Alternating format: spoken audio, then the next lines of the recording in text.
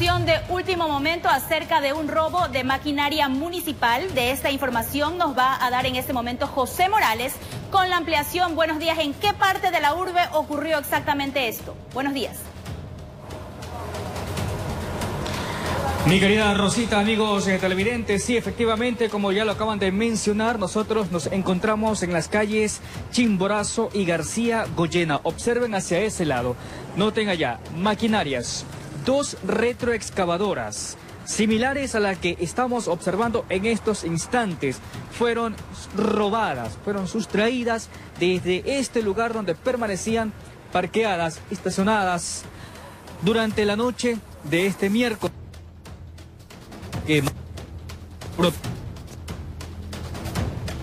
nos indica que esto habría ocurrido alrededor de las 11 de la noche.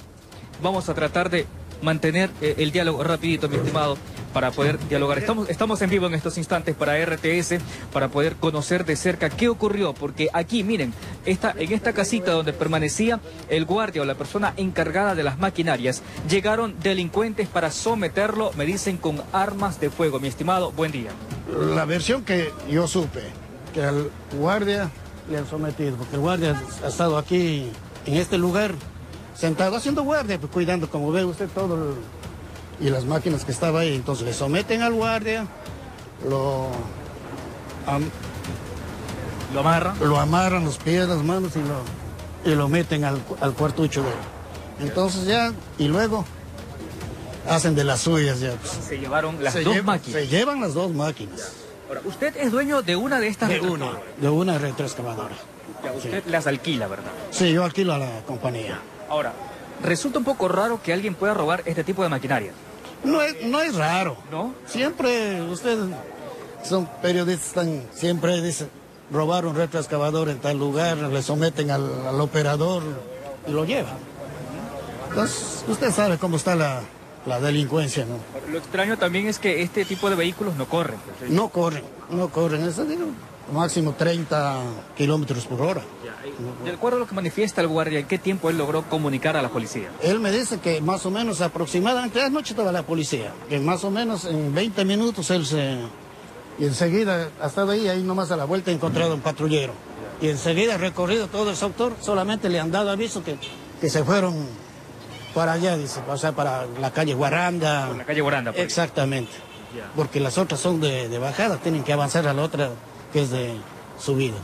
Entonces, ya, no sé más. Desde ese momento hasta la hora en la cual nos encontramos, se ha procedido ya a una persecución, incluso analizando videos de cámaras cercanas.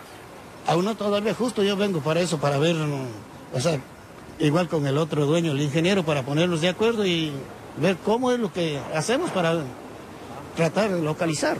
Son herramientas de trabajo que uno, con sacrificio... ¿Cuál es el valor económico de una de estas maquinarias? La mía es un año nomás que está aquí recién traída, 56 mil, 46 mil dólares. 46 mil dólares. Ok, perfecto entonces. Lo que nos acaba de manifestar, lo que ustedes han escuchado, la versión por parte de uno de los propietarios de estas maquinarias, de estas retroexcavadoras que fueron robadas desde las calles Chimborazo y García Goyena en el sector centro de Guayaquil.